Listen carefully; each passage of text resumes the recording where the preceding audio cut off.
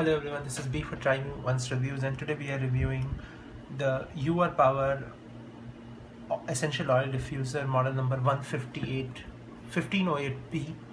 So uh, what you get in the box is uh, the charging adapter and uh, then a measuring cup where you know you can measure how much water you want to put it in and then the diffuser and its cap. So looking at the cap you know you see on the opening on top this is where from where the oil is diffuses and you know mist comes out.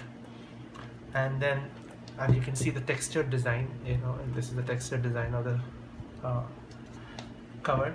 And then this is your ultrasonic diffuser. So it diffuses the essential oils uh, from for ultrasonic waves and uh, at the bottom you would see you know rubberized transparent rubberized legs. Usually I've seen the black color legs but this one is transparent.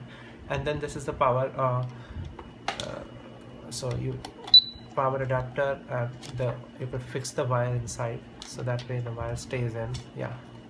Control. So we heard the beep of switching it on and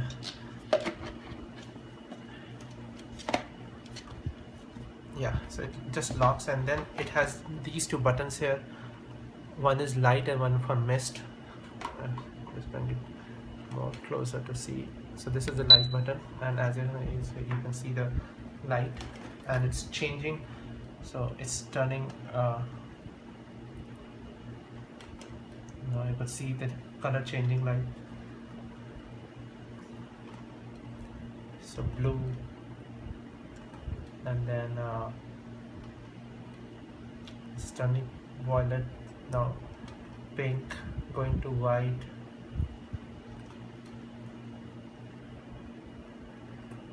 Getting red yellow green. So it behaves as a really nice lamp as well.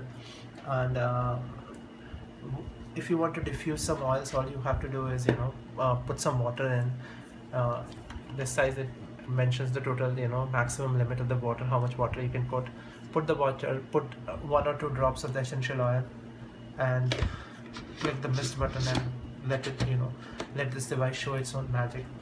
Really nice um, I've used uh, UR Power diffusers earlier as well and they are you know really uh, value for money diffusers.